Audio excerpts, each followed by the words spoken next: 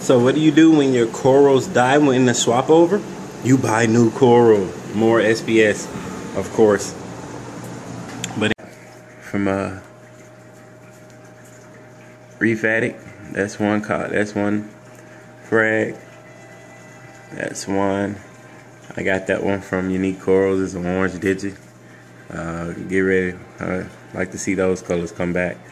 Um, that was my um, my green slime ball, and it's pretty much croaked on the bottom. I'm hoping that it comes back on the top and just continues to grow. I Broke a piece of that. It's my other frag.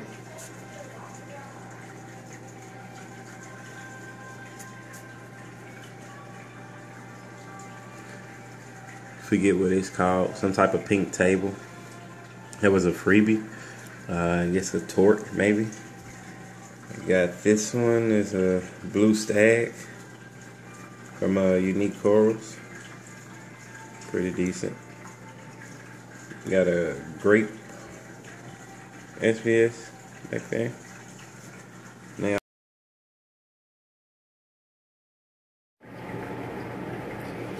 Tru Reef Tank, 75 gallon. And this is an update just letting you know what everything is going on. I just recently moved into the my new house about a month and a half ago, and um, of course we had to move the 75 gallon, and um, it was a uh, it was pretty hectic. I lost a few colonies. Uh, as you can see, there's one in the back. If you go back in the older videos, that was like a bluish purple. I lost it. I lost my green stylo here, like uh, the the mother colony. It clipped completely wiped out on me. Uh, my white rhino is gone now. Um, I think I had one red SPS that croaked out as well. I'm not sure. But anyway, um, a couple of the SPS died off. None of my other corals died off. They all did pretty decent during the move.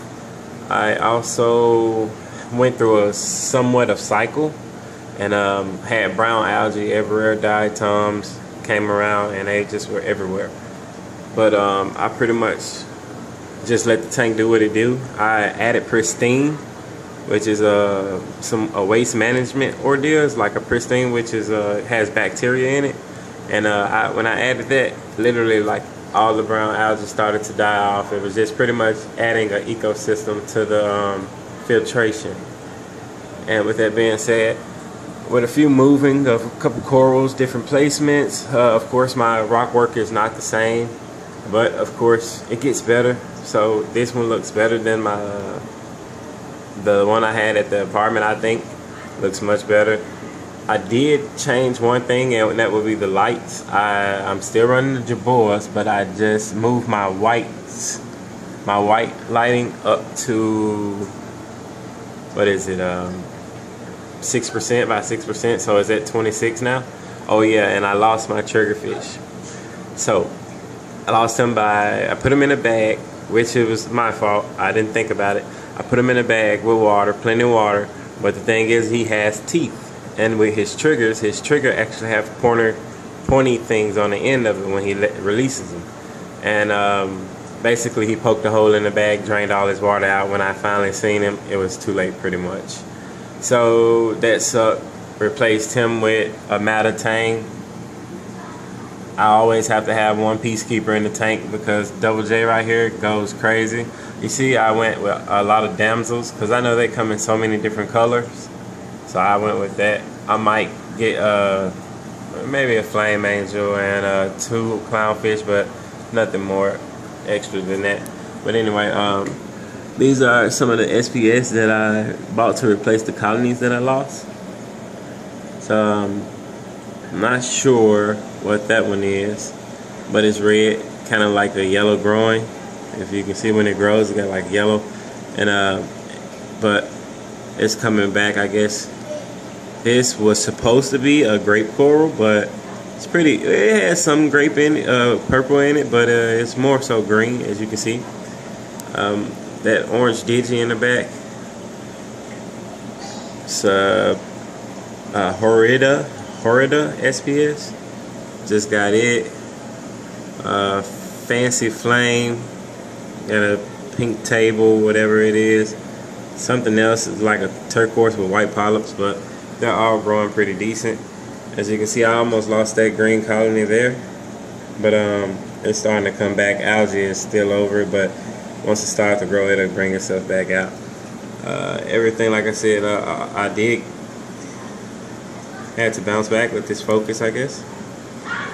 I'm not sure what this is. Is um, it's kind of blue, blue and green, but it's a stag. I know that for sure. Got some red people eaters. My Monty, my bonsai is still doing great, growing, looking good. Uh, kind of blends in with that purple rock, so I might end up moving it sooner or later. My Duncan coral. Yeah, my um, candy cane is amazing. Such a huge piece. Oh yeah, my yellow eye chalice might end up moving it soon, as you can see. It's in between that Monty and that uh, toadstool, and that toadstool is starting to open back up. It's going to be massive when it opens. So I'm definitely going to end up moving that. But anyway, the Rainbow Favia, looking healthy, looking good.